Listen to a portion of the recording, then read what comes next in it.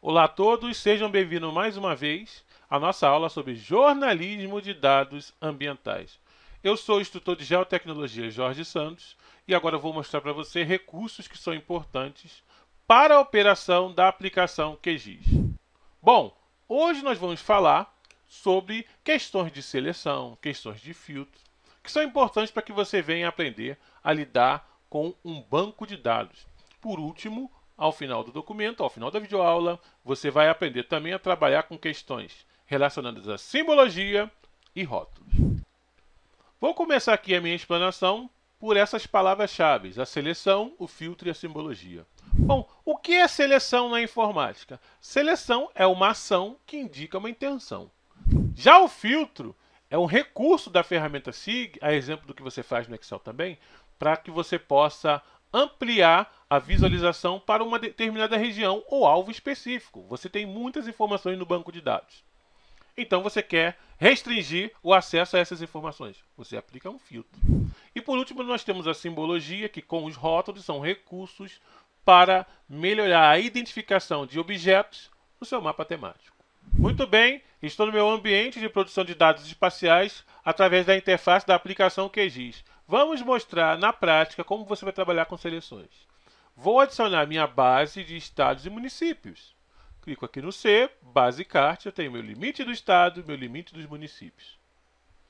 Então, para eu localizar a capital Manaus, como eu faço? Primeiro, eu clico na camada dos municípios com a ferramenta Seleção de Feições por área ou simples clique. Essa ferramenta aqui, ó, seleção de feições, ó, feições. Na verdade, seria tecnicamente seria feições, né? Feição e tem um S, pode ser feição ou pode ser feições. Então eu clico com esta ferramenta aqui no município de Manaus. Eu não consigo ver o município de Manaus. Você pode aproximar. Se você já sabe quem é Manaus, você pode clicar em cima dele. Vamos supor que Manaus fosse esse aqui. Você clicaria em cima dele. O que acontece se por acaso eu tenho a camada do estado na frente e tento clicar em Manaus com essa camada selecionada. Ele vai selecionar o Amazonas inteiro. Então não pode. É...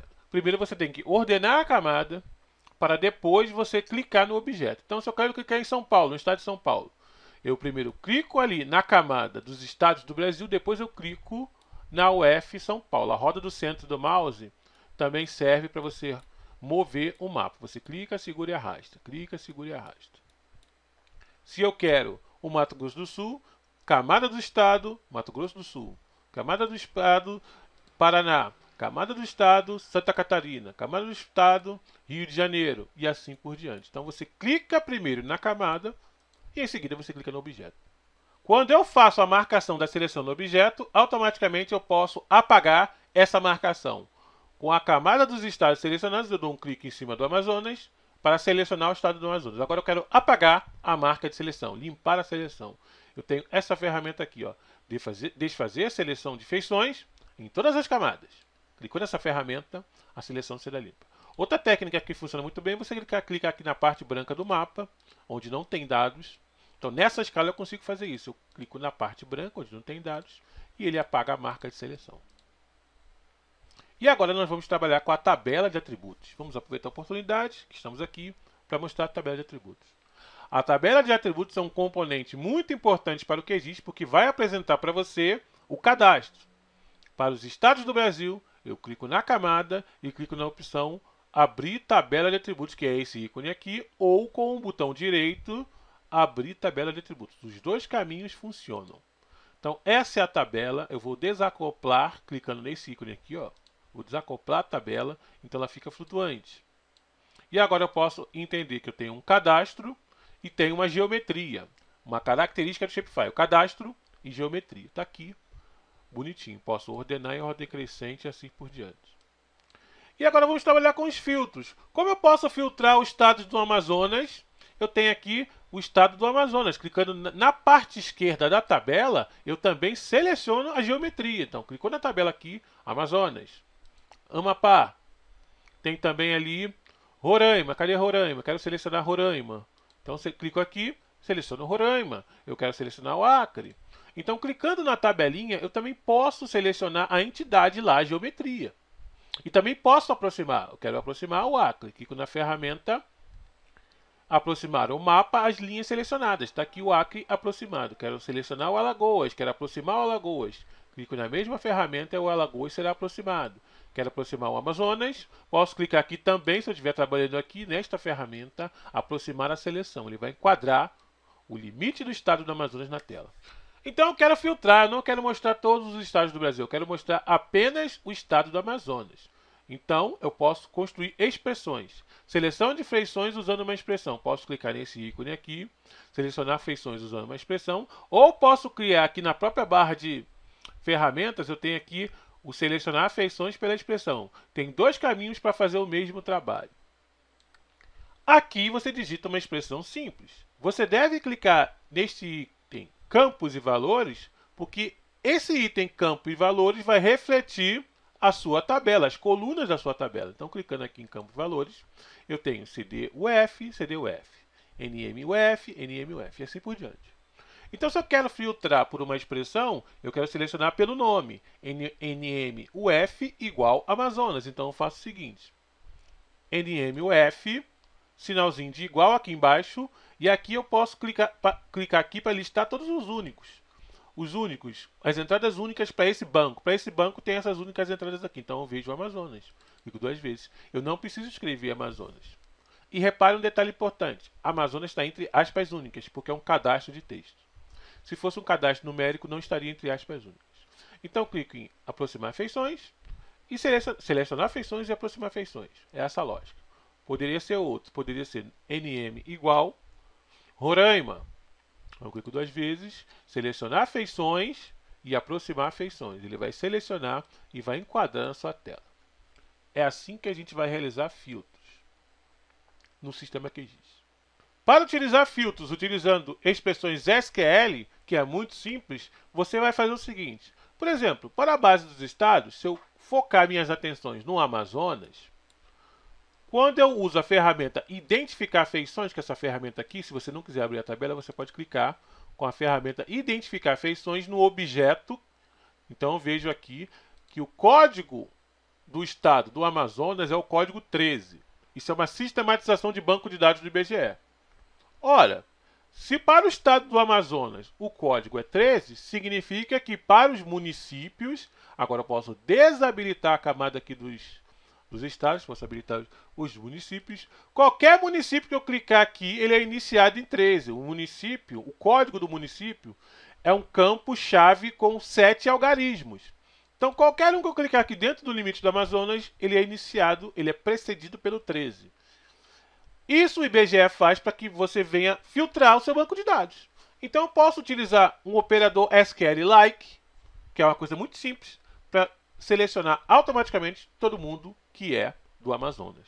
Vamos fazer o seguinte. Clico na ferramenta de seleção normal, para sair daqui dessa ferramenta, posso fechar a janelinha, identificar resultados. Uso o selecionar feições usando uma expressão e posso construir minha expressão. A primeira expressão que eu construí foi com base no campo nome. Agora eu clico em campo e valores e também estou no domínio da camada do município. Está vendo o nome aqui? O nome dessa tabela? Então eu posso criar uma expressão com base no nome? Não, agora é com base no código. Então, cd município, digito aqui like, que é um operador SQL.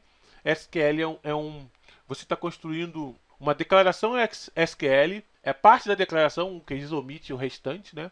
CD moon like aspa única, eu coloco aqui 13, sinal de percentual e fecho aspa única.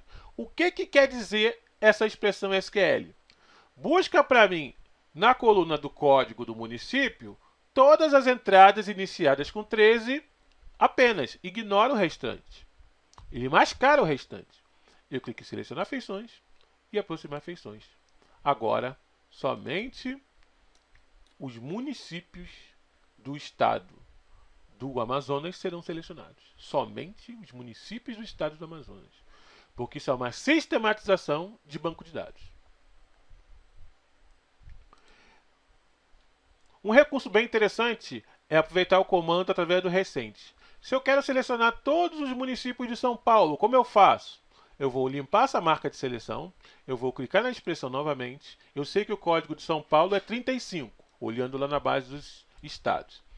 Campo e valores, eu faria a expressão de novo, não é verdade? Não precisa, basta você clicar em recente, está vendo aqui embaixo, recente, usa a mesma expressão e muda o código. Em vez de ser 13, será 35. Seleciono e aproximo. Agora eu tenho todos os municípios de São Paulo na minha tela. Isso são comandos SQL para você destacar somente os objetos que você precisa. E por último, nós faremos o filtro com a capacidade de exportar uma seleção. Já que eu tenho a base toda do Brasil, eu não preciso da base toda do Brasil. Eu posso filtrar somente para a base que eu preciso, para o F que eu preciso. Então, com o botão direito sobre a camada dos municípios, eu utilizo o recurso filtrar e digito aquela mesma operação SQL que eu fiz aquela vez. Código do município, like, dando sopa aqui, você pode colocar aspa única 13, sinal de percentual, fecha aspa única. Manda clicar no botão OK e agora você só terá os municípios do Amazonas. Então, a base dos municípios são quase 6 mil municípios. Para o Amazonas, eu tenho quantos? Eu tenho ali 62 municípios. Então, todo o seu estudo será direcionado aos 62 municípios do Amazonas. E na continuidade da nossa aula, nós vamos estabelecer agora a estilização básica para camadas. Agora você vai aprender de uma forma suave como você pode manipular cores e rótulos. Vamos lá. Muito bem, estamos aqui no QGIS e eu vou mostrar para você os mecanismos de simbologia, que é o recurso do sistema para que você possa construir mapas temáticos. Olhando a tabela de atributos, eu tenho os estados do Brasil. Eu tenho um campo muito interessante que é o campo de região. O campo de região vai discriminar ou vai diferenciar os estados do Brasil de acordo com a sua região. O campo NMUF ele é responsável por apresentar o nome de cada estado. Então, a entidade é, República Federativa do Brasil ela pode ser representada com todos os estados com a mesma tonalidade em tom de igualdade pelo mecanismo de símbolo simples. Então, com eu acesso às propriedades da ferramenta, eu vejo o mecanismo de símbolo simples, aqui em simbologia. Simbologia, mecanismo de símbolo simples. Símbolo simples, todas as entidades compartilham a mesma cor. Eu posso mudar a cor e posso mudar também a cor, eu posso mudar a cor de preenchimento e a cor de contorno. Clicando aqui em Simple Fill, eu tenho a opção de mudar aqui a cor. Como eu posso mudar a cor? Eu clico em cima da cor e posso escolher a roda. A roda é bem legal, né? Porque a roda você clica, por exemplo, eu quero verde, você coloca no verde, leva o verde para lá, ou mais claro ou mais escuro. E aqui você já aplica a cor. Quando você aplicar, o Brasil ficará verde. É bem legal, né? Tem a cor de preenchimento e tem a cor do traço, a cor do contorno. Quero traço branco. Você pode clicar em cima da cor da roda, colocar no branco e clicar em OK e você vai ter a cor de contorno branco. Então, eu quero aumentar a espessura para ponto .44. Clico aqui, ponto .44. Ponto .46, né? Melhor dizendo, aumentei a espessura da linha.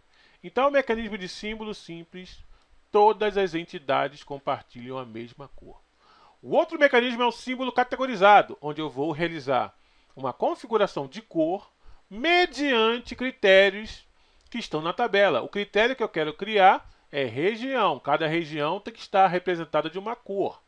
Então, clico aqui em região, clique em classificar, ele vai te dar as cinco regiões do Brasil de acordo com os atributos da tabela. Posso excluir a última entrada, clica aqui no menos, clica nele, clica no menos. E agora posso aplicar. Eu tenho aqui todas as regiões do Brasil sendo representadas cada um com a sua cor. E na legenda do mapa fica região centro-oeste, região nordeste e assim por diante. Bem legal, né?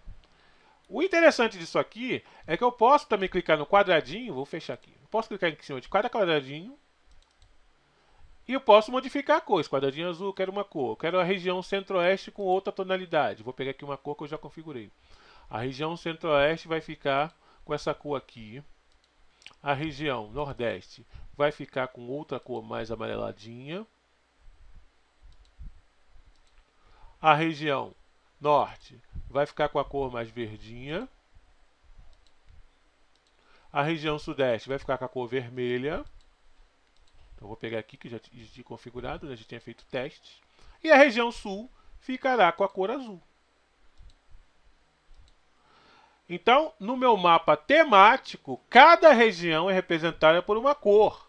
Região centro-oeste, região nordeste e assim por diante. Este é o mecanismo de símbolo categorizado. Vou remover a camada e adicionar novamente. O último mecanismo é o mecanismo de símbolo baseado em regra. O símbolo baseado em regra, ele vai mostrar uma cor de acordo com o critério que você estabeleceu pela fórmula. Eu acesso as propriedades da camada e posso trocar o, o objeto para símbolo baseado em regra. Primeiro eu escolho a cor que eu quero os outros objetos, eu quero todos os objetos com essa cor aqui e quero a cor de contorno branco e quero aumentar para ponto 46. Então, o Brasil ficou todo assim com essa cor. E eu quero destacar somente a região norte. Então, eu troco o mecanismo para símbolo baseado em regra.